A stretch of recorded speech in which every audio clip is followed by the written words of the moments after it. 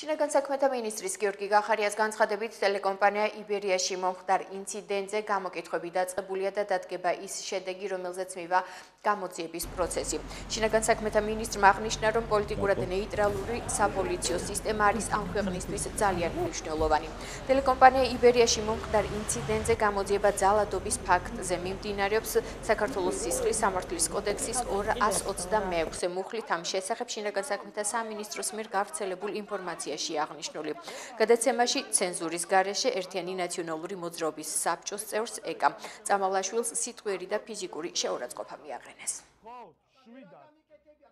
ზელეფეხლა ეთერს რეკლამა და რეკლამის შემდეგ დაუბრუნდებით ამ ფორმით შეუძლებელია საუბარი ხო შვიდა. ბატონო დავით საკმაოდ დაიზაბა აუ რას აკეთებთ ეხა დავამთავრეთ ხევანდელი გადაცემა მაპატიეთ ბოდიშ ვიხდი არის დასრულებული აღარ გავაგზელებ ეთერს. უკაცრავად ბოდიშ ვიხდი ამ შემთხვევასთან დაკავშირებით გამოძიება უკვე დაწყებულია.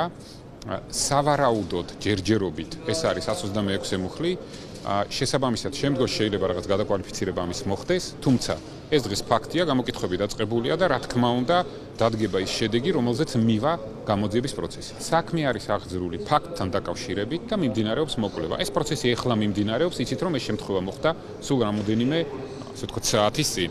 რეალურად მე უბრალოდ ერთი რამ მინდა თქვა რომ აა საერთოდ არანაირი მნიშვნელობა არ აქვს. ყველა მოქალაქე სადაც სამართალდამცავ ორგანოებს ექნებათ ვალდებულება რომ შეასრულონ თავის ფუნქცია, შეასრულებენ ყველა ვარიანტში და ყველა შემთხვევაში. ეს არის ყველაზე მნიშვნელოვანი და კიდევ ერთხელ მინდა ხაზგასმით აღნიშნო, რომ პოლიტიკურად ნეიტრალური საპოლიციო სისტემა ეს არის ამ ქვეყნისთვის ძალზედ მნიშვნელოვანი